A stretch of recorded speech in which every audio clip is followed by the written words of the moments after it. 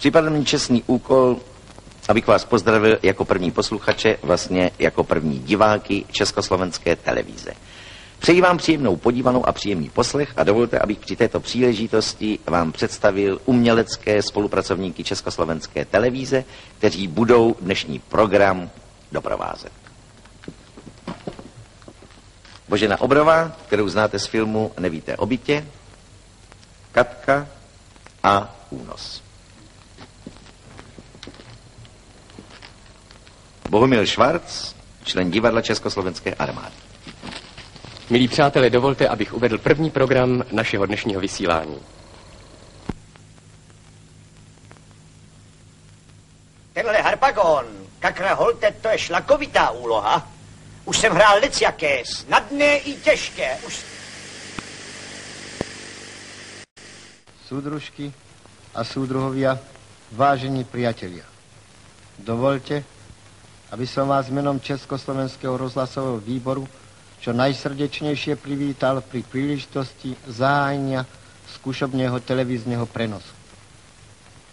Jestliže dnes môžeme započať skúšobne vysielanie, ďakujeme predovšetkým za túto radostnú skutočnosť našej komunistickej strane Československa, našej vláde, osobne nezapomenutelnému a nám všetkým drahému Klementu Gotwaldovi, a jeho najbližšiemu spolupracovníkovi a následovníkovi prezidentovi republiky, súdruhovi Antonínovi Zápotockému, ktorí od prvopočiatku mali veľký záujem na tom, aby sa s televíznym vysielaním u nás čím skôr započal. Veľkú pomoc pri výstavbe Československej televízii poskytli nám sovietskí vedci a technici, ktorí ochotne zoznamovali našich technikov s vysokou úrovňou sovietskej vzdelovacej techniky, umožňovali, aby sa naši technici prakticky oboznámili so sovietskou televíziou. Po dobu skúšobného vysielania, ktorá potrvá asi 6 mesiacov, budeme vysielať dvakrát až trikrát v týždni, a to vždy večer od, do 21. hodiny. Úkoly sú veľké. Stojí před námi ještě mnoho problémů, ale jsou krásně i naše perspektivy. Postavit našu televíziu do služieb výstavby našej krásnej vlasti a postavit ju do prvých radou bojovníkov za svetový mír.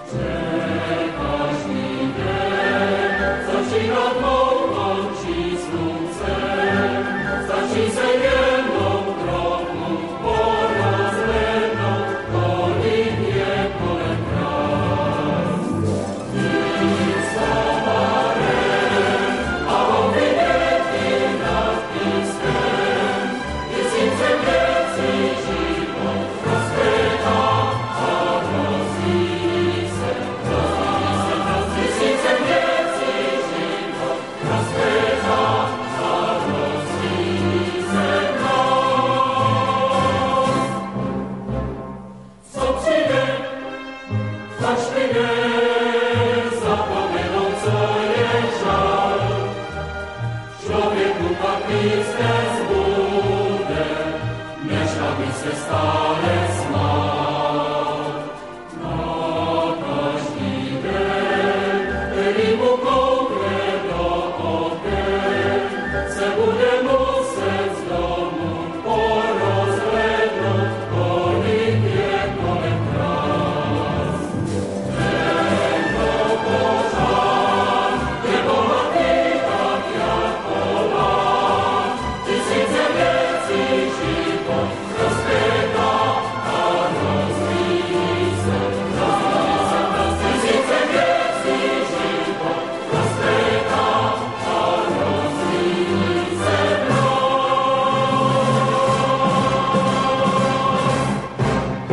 teď uvidíte unikátní záběry prvních hlasatelů z prvního dne zkušebního vysílání.